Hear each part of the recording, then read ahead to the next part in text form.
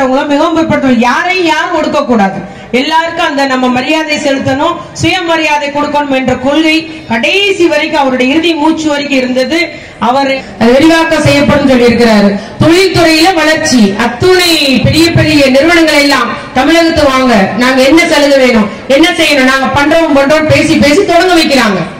அது தொடங்கி உற்பத்தி தொடங்கும் போது நம்முடைய இளைஞர்களுக்கு க- படிப்புக்கேற்ற வேலை கிடைக்கும். இன்னைக்கு படிப்புக்கேற்ற வேலை இல்லாத நிலைமை சிறிது சிறிதா மாறி வருகிறது. கடந்த பத்து வருஷமா படிப்புக்கேற்ற வேலையே இல்லாத நிலைமை இளைஞர்களுக்கு வேலையே இல்லைன்னு ஆகி போச்சு ஆகவே ஒவ்வொரு இலக்கியவாதிகள் கீரா மண் நினைவு மண்டபம் அதுக்கு ஒரு உதாரணம்.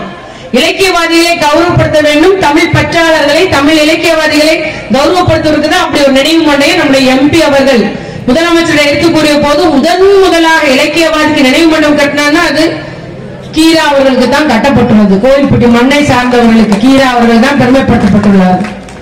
அவன் இப்படி நம்ம அடுக்கிக் கொண்டே போகலாம். இன்னைக்கு இலக்கியவாதிகள் கௌரவப்படுத்தப்படுகிறார்கள் விருது வழங்கப்படுகிறது விருது பெற்ற இலக்கியவாதிகளுக்கு வீடு வழங்கப்படுகிறது அவருடைய புத்தகங்கள் நாட்டுடைமையாக்கப்படுகிறது. இப்படி நம்முடைய தமிழ் மொழிக்காகவும் தமிழுக்காகவும் நம்ம ஆட்சி புரிந்து வருகிறார் நம்முடைய தளபதியார் அவர்கள். அதனாலதான் இன்னைக்கு இந்தியா டுடே புக்ல போட்டிருக்கான். பாத்தீங்களா?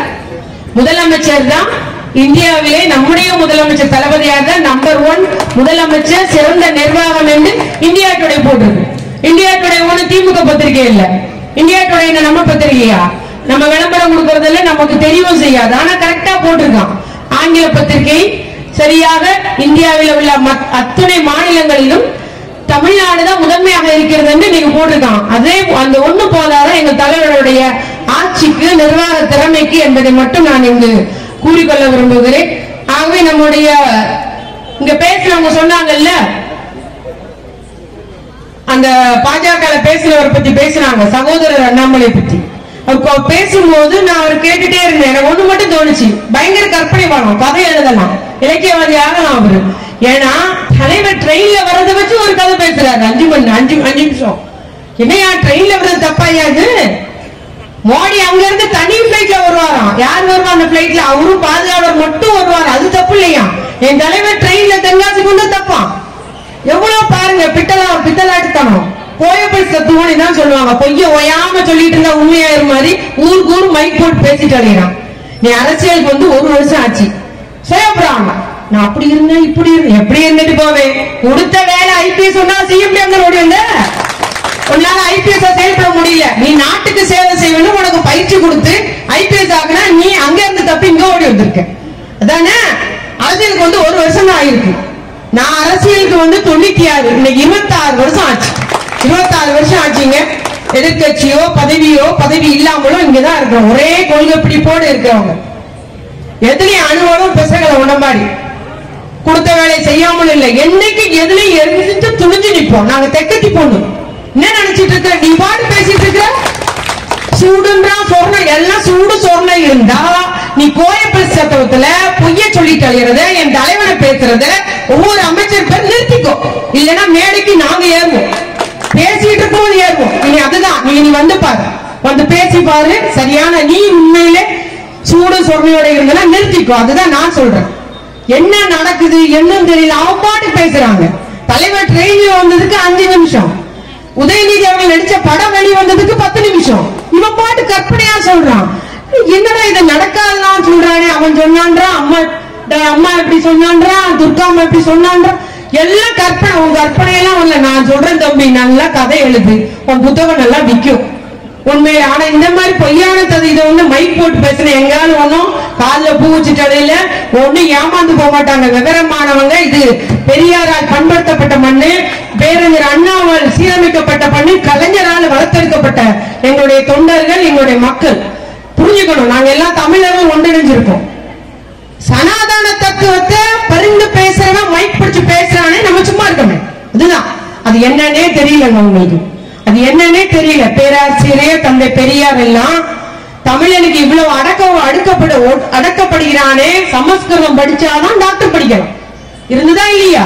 அதை நம்ம முறியடிச்சிருக்கோம்.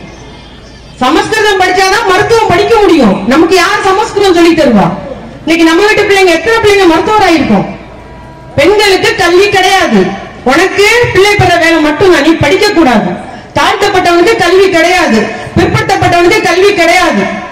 நீங்க எல்லாம் கோயிலுக்குள்ள நுழையக்கூடாது. திருச்செந்தூர்ல வெளியே இருந்து கோபுரத்தை போட்டு பார்த்து ஒன்னு வணங்கிட்டு போயிடணும். யாரா இருந்தாலும். பிற்படுத்தப்பட்டவங்களோ தாழ்த்தப்பட்டவங்களோ மிக எல்லாத்துக்கும் அதே நிலைமை வச்சிருந்தாங்க. அந்த நிலையெல்லாம் மாத்திரியாரு நீதி கட்சி திராவிட கழகம் இன்னைக்கு திராவிட முன்னேற்ற கழகம். அதை யாரா மறுக்க முடியுமா? இன்னைக்கு வந்துட்டு பழைய காலத்துல நம்ம தூக்கி எறிஞ்ச ஜ- சனாதனத்தை நீ ஆதரிச்சு பேசுறியே. இப்ப நாங்கெல்லாம் என்னமெல்லாம் என்ன உணர்வு கொண்டு யோசிச்சு பாருங்க. ஆகவே சரியான பதிலடி கொடுக்கணும் உங்களுக்கு. அவங்க சொல்ற நம்ம வந்து குட்டையை கலப்பி மீன் பிடிக்கலாம்னு நினைக்கலாம். ஜாதி பிரச்சனை மத பிரச்சனை உண்டாக்கி மக்களிடையே பிளவு ஏற்படுத்தி எப்பவும் நோட்டாவோட கம்மியா ஓட்டு எடுக்கிறோமே இந்த தடவை நோட்டாவோட கூட எடுக்கணும். அதுதான் கொள்கை. வேற ஒன்றும் யோசிக்காதீங்க தொகுதியை பிடிச்சிருவானா வின் பண்ணிடுவானா ஒன்னும் நடக்காது. நாற்பதுக்கு நாற்பது ஜெயிக்க போறது நாங்க தான்.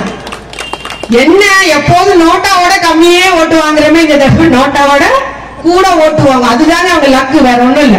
இல்ல என்னன்னு தெரியாம அரசியல் தெரியாம தமிழகம் எப்படி இருக்குன்னு தெரியும்? ஒண்ணுமே தெரியாம இவன் கன்னடா கனடா என்ன கர்நாடகால இருந்து இங்க வந்துகிட்டு இப்படி பேசுவானா? ஒண்ணும் தெரியல. அதுதான் வெறும் வெட்டு வேட்டு அரசியல உள்ள கத்துக்குட்டி நம்ம எதையும் கண்ணுக்கு கண்டுக்கு போக போறது இல்லை ஆனா இனி பேசுறானா நம்ம சும்மா இருக்க போறதும் இல்லை. ஏற்கனவே நம்ம வந்து அவர் பேசினாரு. அழிய முட்டை கொடுக்குறான் அதுக்கு நான் பதில் சொல்லியிருக்கேன் பார்த்திருப்பீங்கன்னு நினைக்கிறேன்.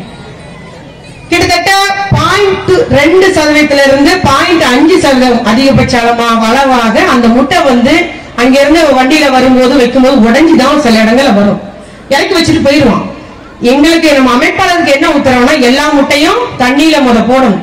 மிதக்கிற முட்டையை எடுத்து தனியா வச்சிடும் உடஞ்ச முட்டையை எடுத்து தனியா வச்சிடும் அந்த ஒப்பந்தத்துல என்ன சொல்லியிருக்கோம்னா எதெல்லாம் உடஞ்ச முட்டை கெட்டு போன முட்டைன்றீங்களா அவ்வளத்தையும் நீ மாத்திடணும் திங்கட்கிழமை ஒரு லாரி வரும். புதன்கிழமை ஒரு லாரி வரும்போது நீ பழைய முட்டையை வாங்கிட்டு அதுக்கு பதிலா பத்து முட்டை உடைஞ்சுன்னா பத்தை மாத்திட்டு கொடுக்கணும். இதுதான்.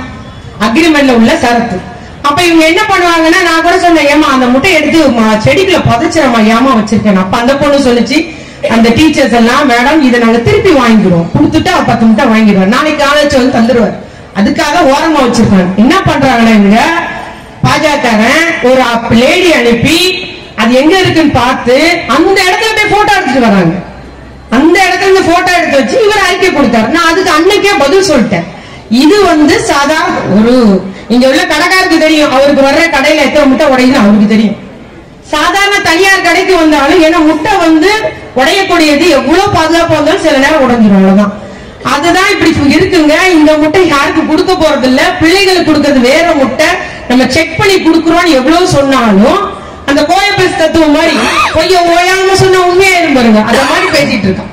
இனி நீ இந்த பேச்சை இதோட விட்டு தம்பி அவ்வளவுதான் நான் சொல்றேன். இல்லைன்னா உனக்கு வந்து சரியான பதிலடி கொடுப்போம். அது எப்படின்னா நீ எங்க பேசலாம் நாங்க எடுத்து நிப்போம் அந்த இடத்துல வந்து. அதுதான். இந்த ஊர்ல நீ வந்து இன்னும் பேச முடியாது. பன்னெண்டு வயசுல என் தலைவருக்கு நான் முத முத மாலை போட்டேன்.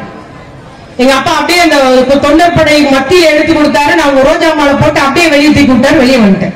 அப்படி நாங்க பிறப்பே செயல்பட்டு இருக்கோம் நீங்க எல்லாம் இன்னைக்கு வந்தவங்க என்னவோ கட்சியோட கொள்கை தெரியாம நீங்க பாட்டு ஊர் நிலைமை தெரியாம பேசிட்டு இருக்கிறார்கள் என்பதை மட்டும் நான் நீங்க கூறிக்கொள்ள விரும்புகிறேன். அதனால நம்ம வந்து எதையும் பற்றி இல்லாம நம்மளுடைய அக்கா பின்னாலே ஓடுறான்டான் நீ நூறு கிலோமீட்டர் வேகத்துல நான் ஓடுறேன். நீ என்னென்ன சொல்லுவ நீ?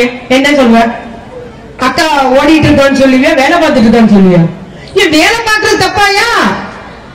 எம்பி வந்தான்னா அநேகம் அரசு நிகழ்ச்சிகளை முக்கியமான நிகழ்ச்சியில எம்பி அக்கா எப்படி வந்துருவாங்க? சென்னையில இருந்தா டெல்லியில இருந்தா ஓடி வந்துருவாங்க.